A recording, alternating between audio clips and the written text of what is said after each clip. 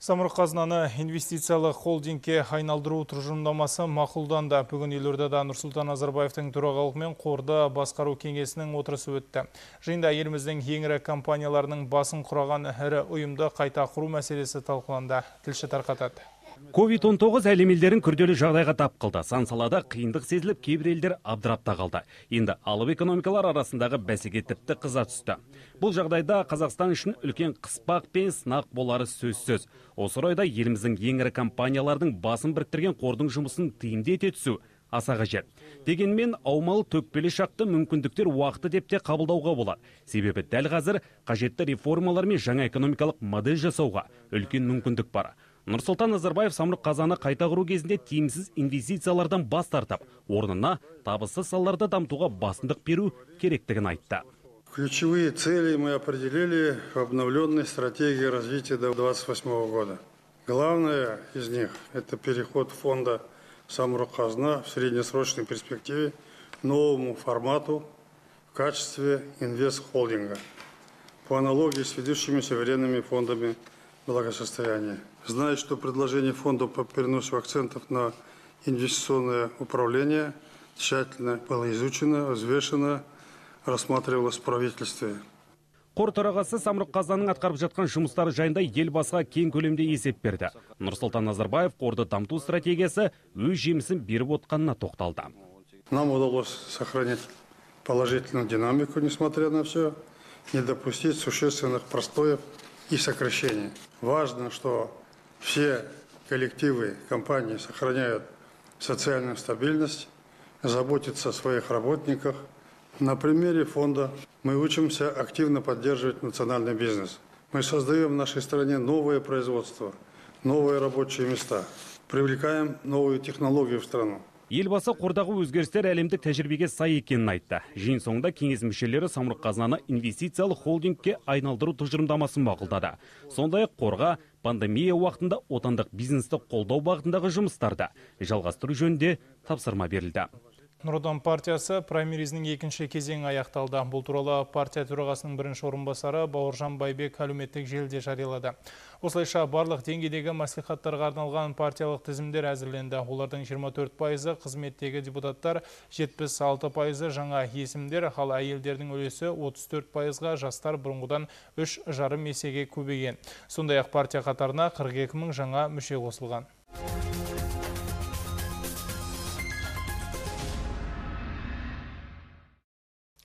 Мемлекет шағын және орта бизнес субъектілеріне қандай қолдау көрсетеді? Сала мамандары коронавирус инфекциясына байланысты қабылданған карантиндік шаралар кезінде қалай жұмыс істеу керек?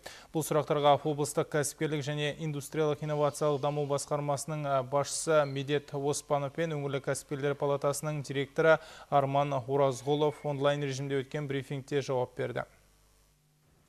Бүгінгі күні салық және басқа да міндетті төлемдерден 17 мыңға жоқ бизнес өкілі босатылған. Мұнымен қоса карантин кезінде 43 ірі сауда нысаны 1720 кәсіпкер үшін жалға беру құнын 80%-ке дейін азайтты. Бұдан басқа 200 коммуналдық объектіде жалдау ақысын есептеу тоқтатылған болатын. Сонымен бірге 16 наурыз бен 15 маусым аралығында жеке тұлғалар және шағын және орта бизнес субъектілері үшін несие бойынша төлемдерін кейінге қалдыруға мүмкіндік берілді. С периода ЧП Төтенше жағдай кезінде 252 бизнес субъектісіне 3 миллиард теңге кредитті субсидиялауға мүмкіндік берілді. Және де 432 кәсіпкер екінші деңгейлі банк алдындағы 800 миллион теңге қарызсыз төлеуін кейінге қалдырды. Мысалы 9 бизнес нысаны осы бойынша өтініш беріп үлгерді. Оған қоса түрлі мемлекеттік қолдау да бар. Егер төтенше жағдай кезінде түрлі кәсіпкерлік салалар жұмысын толық тоқтатса қазіргі кезде жағдай басқаша. Тек кейбір шектеу қойылған. Биылғы жылдың 9 айында облыстық кәсіпкерлер палатасына түрлі проблемалар бойынша 94 өтініш келіп түскен. Оның 78-і оң шешімін тапты. 134 миллион теңге сомасына бизнес субъектілерінің құқықтары қорғалды. Сондай ақ енгізілген шектеулер біраз бизнесменнің жоспарына өзгеріс енгізіп табысын азайтты. Мысалы мейрамхана бизнесі әлі тоқтап тұр. Той салтанатты шараларға тыйым салынған. Ал бұл пайданың көп бөлігін құрайды. Кинотеатрларда осындай жағдайда. Период действия первого жесткого карантина алғашқы қатаң карантин кезеңінде бизнестің барлық түрлері жабылып алғаш рет блок бекеттер орнатылды.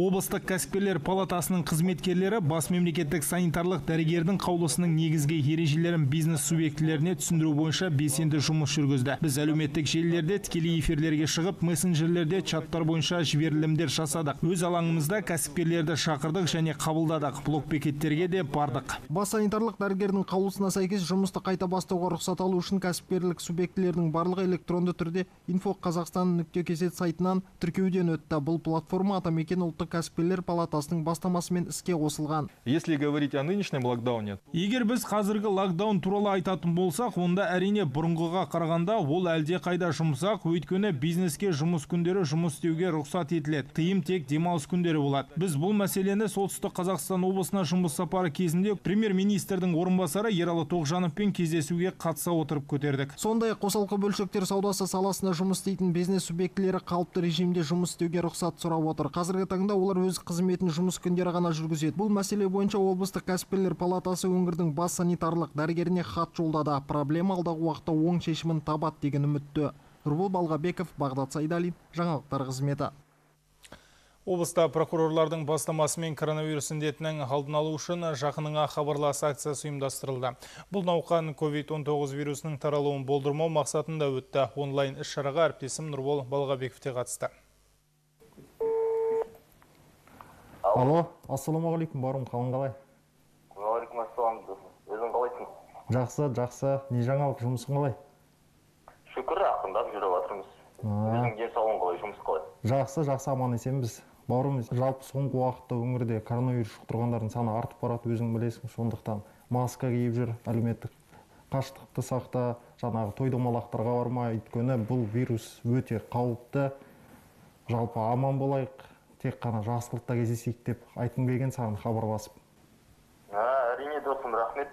Уайымдап соны хабарлап ескертіп жатқаныңа. Сен де денсаулығыңды күтіп маска киіп жақсы бауырым хабарласып тұр жоғыма мхм жақсы. Облыста қауіпті індеттің алдын алу үшін түрлі сақтық шаралары ұйымдастырылуда. Соның бірі бүгін өткен жақыныңа хабарлас акциясы. Шынымен де соңғы уақытта облыста коронавирус жұқтырғандардың саны артып барады. Сондықтан барынша сақтық шараларын ұстанып жақынымызға жанашыр болайық.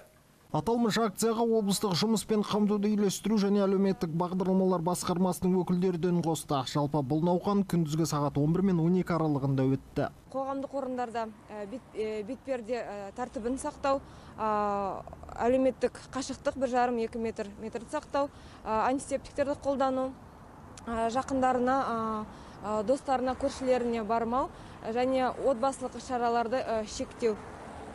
Бұл осы оңай шаралар ә, инфекцияны жұқтыру ә, мүмкіндігін азайтады.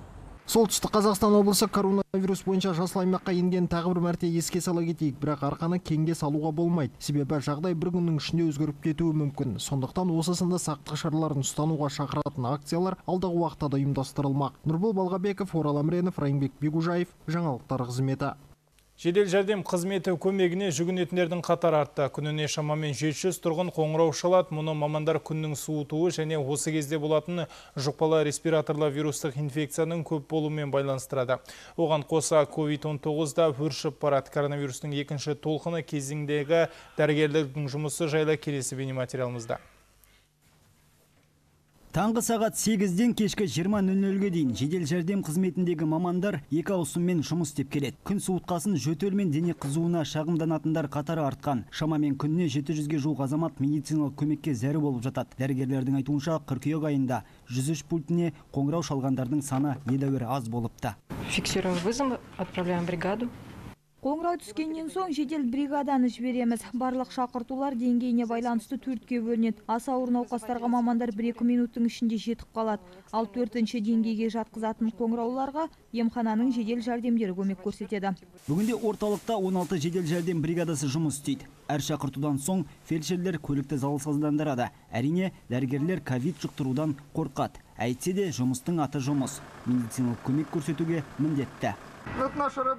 Мен вирусты жұқтыруға қорықпаймын қызметімді адал атқаруға тырысамын қауіпті аурудан сақтанудың бірден бір жолы позитивті ойлармен жұмыс істеу Коронавирус инфекциясы тұмау мен өткір респираторлы вирустан айырмашылығы жоқ деуге болады. Дей тұрғанмен бұл ауру ешкімді аямайды. Әсіресе егде жастағылар үшін аса қауіпті. Если организм ослабленный, бұл вирус иммунитеті төмен адамдар мен созылмалы аурулары бар. Азаматтар үшін аса қауіпті. Мұндай науқастар вирусты тез жұқтырады және де дерт ауыр формада өтеді. Егер организм мықты болса онда вирустан тез жазыла аласыз. Бірақ ауру адам таңдамайды. Сондықтан қоғамдық жерлерге аз барып сақтық шараларын ұстанған жөн. Өз өмірлеріне төнген қауіп қатерге қарамастан ақ халатты мамандар жұмыстарын адал атқаруға тырысады. Науқастардың аз болғанын қалайды. Бұл орайда тұрғындардың да көмегі қажет. Санитарлық нормаларды орындау қажет дейді мамандар.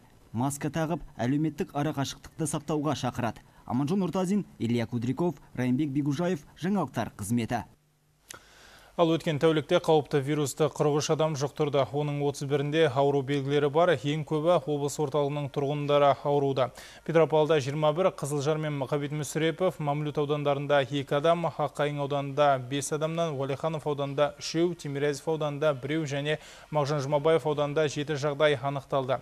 43 жағдайдың үшеуі сырттан келген азаматтардан анықталды. Эпид қадағалау барысында 7 адамнан адамның ПТР тесті оң нәтиже көрсетті. Облыста ПТР зерттеулер жүргізетін төрт зертхана жұмыс істейді. Пандемия кезеңінде облыс бойынша COVID-19-ға 14200-ден астам зерттеу жүргізілді. Оң нәтижелер пайызы жалпы санының 3,4 пайызын құрайды. Өткен тәулікте ПТР әдісімен 1463 зерттеу жүргізілді. Облыста барлығы 4884 коронавирус жұқтыру жағдайы тіркелді. 4162 адам сауығып шықты. Шетелден келген 305 адамнан вирус табылды. Қазіргі кезде инфекциялық стационарларда 334 орын болса, соның 34 пайызы толық. Дерттің ары қарай таралмауына жол бермеу мақсатында тұрғындар қауіпсіздік шараларын сақтау тиіс. Соның ішінде медициналық маска тағу басты талап. Қазіргі кезде бетперденің түр-түрі баршылық. Петропавл қаласының тұрғыны Анна Смирнова әртүрлі тастармен көмкерілген қорғаныш құралдарын жасайды. Шебермен әріптесім Майгүл Сейілбек тілдесіп қайтты. Қазіргі кезде дүкенге кірсек, қоғамдық көлікке отырсақ, тіпті жұмыс орнымызда да медициналық маска тағу міндет. Себебі өзіміздің және айналамыздағы адамдардың денсаулығы мен қауіпсіздігі бірінші орында. Әр адам қандай қорғаныш құралын тақса да өз еркі. Алайда соңғы кездері барлығы әдемі безендірілген, оның үстіне ыңғайлы бетпердені таңдағанды жөн көреді. Елде төтенше жағдай режимі енгізілген кезде қала дәріханаларының сөрелерінде медициналық бетперде табу қиынға соқты дейді Анна Смирнова. Сол кезде өзіне балалары мен туған туысқандарына маска тігіп беруді шешеді. Когда карантин объявили. Карантин шаралары енгізілген соң отбасыма бірден дәл осындай бетперде тіге бастадым. Әрине матаның сырт жағына әдемі сурет салып безендірдім. Дайын масканы таныстарым көріп, бізге де тігіп берші деген өтініштерін білдірді. Сөйтіп мен жасаған бұйымдардың суреттері әлеуметтік желіде таралды. Ең алдымен барлығы түрлі түсті бояуларға, тастарға қызығады. Кейін өте ыңғайлы деп алғыстарын білдіреді. Қауіпті вирус таралмай тұрып, Анна гимнастикаға арналған кішкентай балалардың киімін тіккен. Бала кезінен ине мен жіпке, өнерге жақын келіншектің арнайы білімі жоқ. Керісінше пішіп тігумен сурет салудың қыр-сырын әлеуметтік желілердегі бейнероликтерден үйренген. Аннаның қолынан шыққан мынандай бетперделердің, кәдімгі маскалерден айырмашылығы ол жұмсақ матадан тігілгендігі. Сонымен қатар ерекше бұйым жасап беріңізші деп біздің жерлес сәнқойларымыз да шеберге ә, тапсырыс жасайды. Ә, мұндай маскалердің қорғаныш құралдарының бағасы шамамен бір мың теңгеден басталады.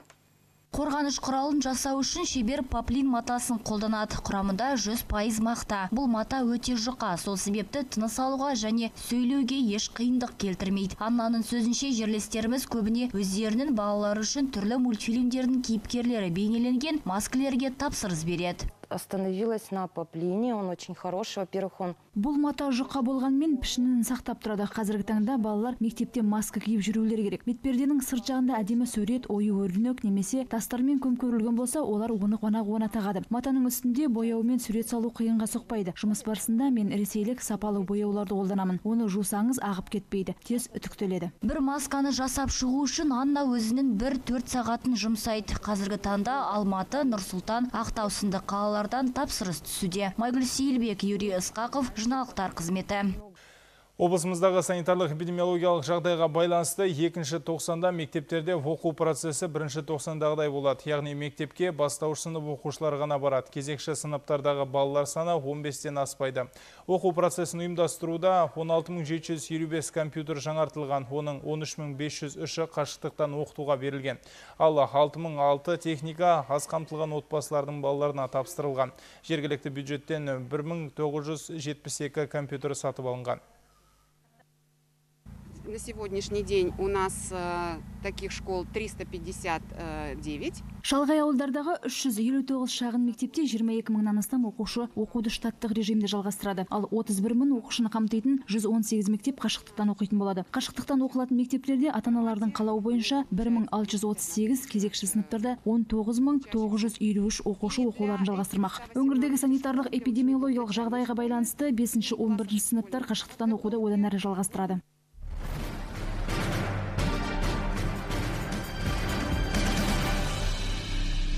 Есірткінің кезекті партиясы жойылды. Бұл жолы 60 келеге жуық марихуана отқа тасталды. Оны полицейлер қазан айының соңында тәркілеген болатын. Акцияның егжей тегжей туралы облыстық полиция департаментінің баспасөз қызметінің материалында.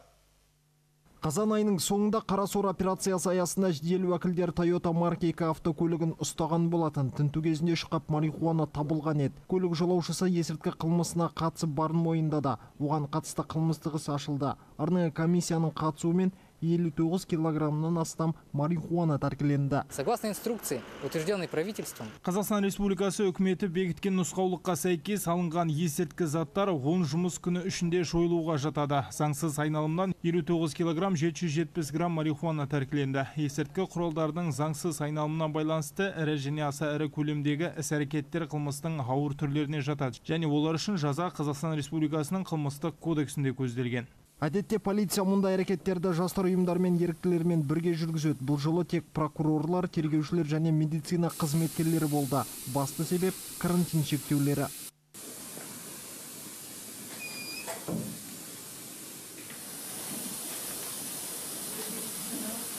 Жыл басынан бері солтүстік Қазақстан облысының полицейлері заңсыз айналымнан 400 келіден астам түрлі есірткі заттарын тәркіледі. Оның ішінде 350 килограмм марихуана, бір келіден артық синтетикалық есірткі, сондай ақ 372 грамм героин бар. Нұрбол Балғабеков полиция департаменті баспасөз қызметінің көмегімен әзірленді. Отбасындағы зорлық зомбылық бұл қазіргі таңда қоғамдағы көкейкесті мәселелердің бірі. Одан жиі зардап шегетіндер ол әйелдер 2020 жылдың 10 айында солтүстік Қазақстан облысының аумағында отбасылық тұрмыстық зорлық зомбылыққа қатысты 54 қылмыс тіркелген. Жалпы өңірде 265 қиын отбасы тіркеуде тұр. Атана құқығынан айырылғандар саны 44.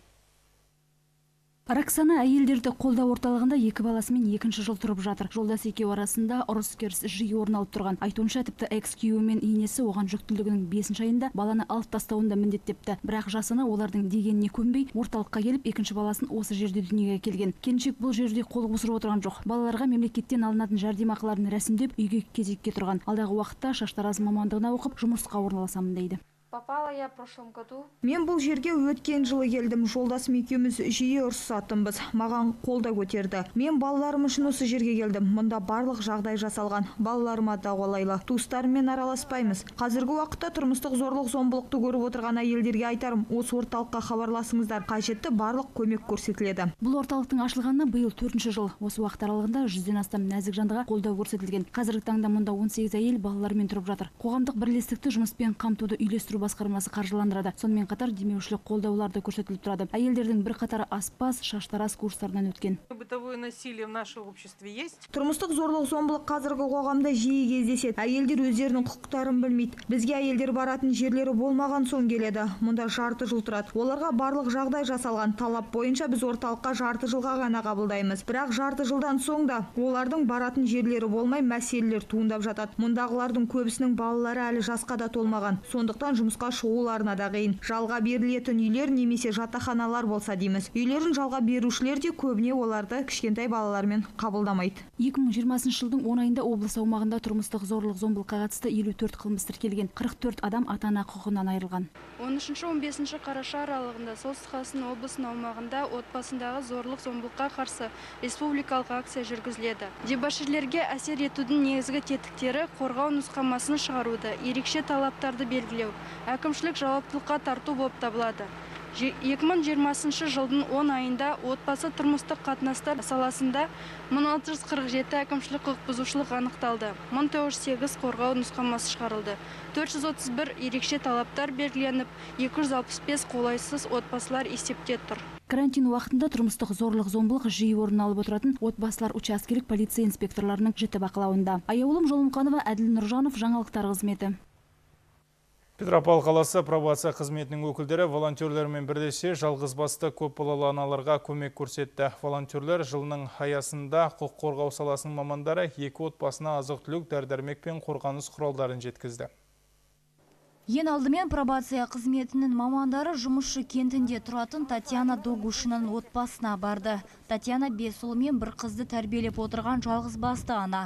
Үлкен ұлы 15-те, кенжесі бір жасқа енді ғана толған. Жолдасымен ажырасып кеткеніне бір жылдан асқан. Татьяна жұмыс істемейді. Келіншектің сөзінше бұрынғы күйеуінен ешқандай қолдау жоқ. Сол себепті жүрегі кеңпейіл жандар көрсеткен көмекке әрдайым қуанады. Бұған дейін алты баласы бар анаға өзге мемлекеттік органнан келіп дәл осындай гуманитарлық көмек көрсетіпті.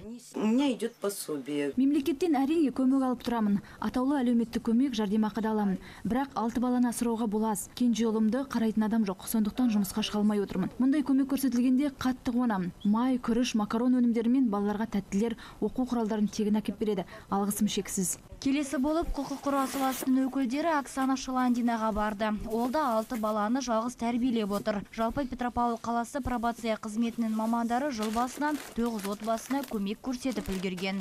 2020 жыл Қазақстан Республика президентінің 2019 жылы 26 тамыздағы нөмірлі 135 жарлығы бойынша еріктілер деп жарияланған. Осыған орай петропавл қаласындағы пробация қызметін сотталған сотталғандар қатарында осы сондай ақ петропавл қаласындағы әкімдігімен бірге осы жалғыз басты және көп балалары аналарға бірінші қажеттілік азық түлік пен сондай ақ құралды керекті құрал жабдықтар тапсырдық Бұл жұмысқа сонымен қатар жазасын өтеп шыққан алайда пробация қызметінің есебінде тұрған сотталғандар да жұмылдырылды. Олар волонтерлер жасағына қосылған. Бүгінгі күні олардың саны 18 адамды құрап отыр. Солардың қатарында Владислав та бар добровольная помощь мұндай көмекке кез келген адам мұқтаж болуы мүмкін сол себепті мен волонтерлар қатарына қосылуды шештім жыл басынан көптеген отбасына барып азық түлік дәрі дәрмек жеткіздік Жылдың аяғына дейін пробация қызметінің өкілдері қосымша тағы үш отбасына көмек көрсетуді жоспарлап отыр. Майгүл Сейілбек, Әділ Нұржанов, жаңалықтар қызметі. Бүгінгі айтар хабарымыз осы. Алдағы демалыс күндеріңіз сәтті өтсін. Аман сау болыңыздар.